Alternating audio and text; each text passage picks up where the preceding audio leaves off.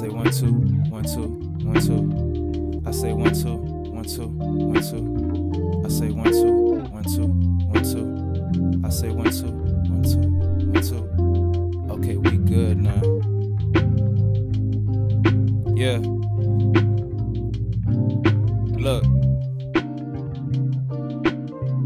She likes it better when I put my whole soul in it. She likes my word choice because they make a bold sentence. She say she likes it when she see niggas get so defensive from what I say, but they act like they never paid attention. She said I talk that real, that's why them niggas scared to mention that I'm the one I might just change the whole vibe to the point they telling y'all to leave that stank shit outside.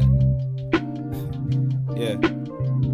She likes it better when I'm venting. She tells me no, never censor my music, cause it's my expression. And if them bitches hating on it, they can get to step in. She likes the fact I never glorify the drugs or weapons. She said I'm different, and I told her I just know that them kids listen. I'm on a mission to show these black babies they don't have to follow shit just to fit in. Be you, nigga. Don't be a see through figure. How they gon' see you, nigga? Had to let that breathe. She telling me I got perspectives that the people need, that'll put their mind at ease. She say she likes it when I'm rapping on these wavy beats. She say it's something to ride to on these crazy streets. She say I'm something to vibe to on a crazy week. She loves my honesty.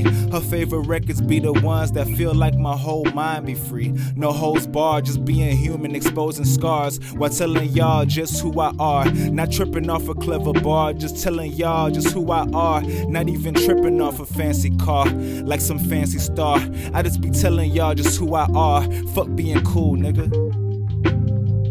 Just be you, nigga.